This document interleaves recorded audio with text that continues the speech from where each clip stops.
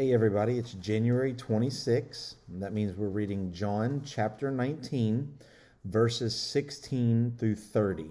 This is kind of the, the crucifixion section of all that we're reading. And so, uh, a lot could be said here. You've probably heard a lot through all the Easters in your year. Um, but when I read this, a couple things stick out. Um, first, we can see that that Jesus was delivered. Right, very first sixteen, he was delivered. Pilate delivered an innocent man. He he couldn't he couldn't um, prove uh, everything that the Jews were saying, but he still handed him over uh, to the Jews uh, to be crucified. And then we can see at verse 17 at the place of the skull, uh, the Golgotha.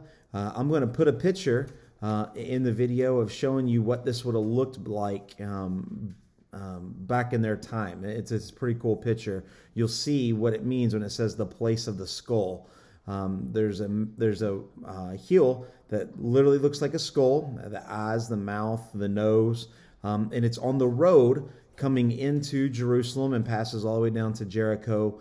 Uh, so as people would come in, they would see this road lined with all kinds of people um, being crucified with robbers. And we can even see Jesus was um, crucified with two other people, uh, and he was in the middle of them. What's interesting, though, when we think about Jesus and these two other people, is really all of humanity um, is on Golgotha, right? We have the Savior, Jesus. We have the forgiven, which was the man that said, uh, you know, where Jesus said, Today you'll be with me in paradise. And then we also have the man who is lost, right? So uh, all of humanity was represented right there on the hill of Golgotha. Uh, another little kind of neat thing as you're reading and as, as you study, um, you can see in verse 23 when it talks about, um, it spends in great detail about Jesus' clothes. And in verse 23, we can see um, it talks about Jesus' seamless tunic. Now that might seem really weird, and, the, and they said that soldiers didn't want to rip it, and so they cast lots, right? They rolled dice for it. They kind of gambled to see who would win it.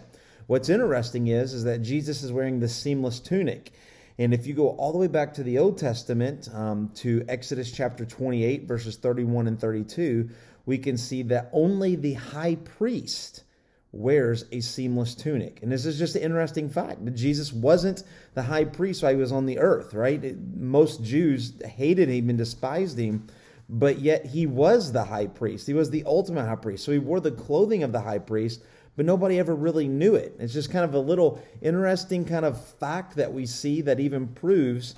Um, even looking at Hebrews, talking about Jesus is our great high priest. Uh, and so um, proving some prophecy, um, but also reassuring uh, what Scripture says in Hebrews. Just an interesting fact. Um, uh, we also see in verse 27, um, as Jesus is on the cross, he looks down, he sees his mother Mary uh, and uh, his sister Mary, and then Mary Magdalene. Um, which is really the first woman at the tomb uh, on Resurrection Sunday. Uh, so he has three Marys there. And we can see that even on the cross, he doesn't care necessarily about his self that much. He's still caring for others. And so he tells John, the beloved disciple, him, the book that we're reading, um, to take care of my mother. And he says, you know, hey, here's your mother. Um, so even on the cross, he cared more about others than he did himself. Um, uh, verse 28, we can see um, it says that knowing this, um, knowing that it was all finished, right? Jesus knew that that it all came to finish. He he realized and he knew uh, that salvation has been complete, and so it's just kind of an interesting moment that Jesus um, has known at some point. Um, God has laid all the sins upon Jesus, and he bore that uh, sinlessly. Uh, and then we can see in verse 29, it says that he was thirsty. Now we remember um, the passage before this um, that he did not um, take um, the wine um, that was kind of laced with medicine to to make him uh, to to kind of numb his pain, but he's about to die, and so he's taking this uh, this diluted sour wine. Um, basically diluted with wire uh, with water, soured. It's not fermented all the way. Um, but he's doing this because basically his throat's dry, his mouth is dry, and he needs to make um, this ultimate proclamation that we see in verse 30, where he says, It is finished, tetelestai, right? Tetelestai, that's what that means. It is finished. Um, and, and, when we see that it is finished, is is almost kind of like the cry of a of a warrior, the cry of an athlete, the cl- cry of a winner.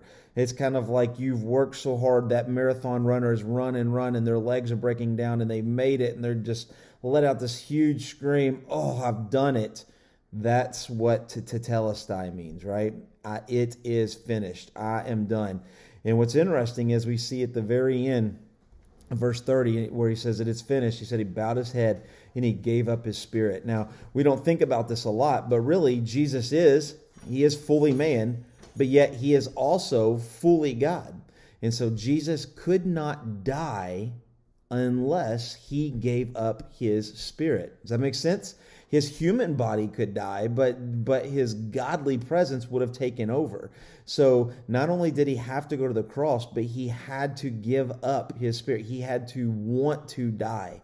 Uh, and so we can see that in verse 30 where he says that he gave up his spirit uh, and that he died. And so uh, just amazing as we read this in January. These, these will come alive so much. Uh, uh, for me as a pastor, when we're going into Easter, um, we even kind of got a series planned for Easter, kind of walking through the last events um, in a special uh, service on Good Friday. Um, and so these are the times that we really read this, but it's really interesting and really great to read um, these passages in January and just remember all that Jesus did for us. Hope you're enjoying this. Don't forget, today we are praying for the person that you are inviting to church this weekend. Who are you inviting?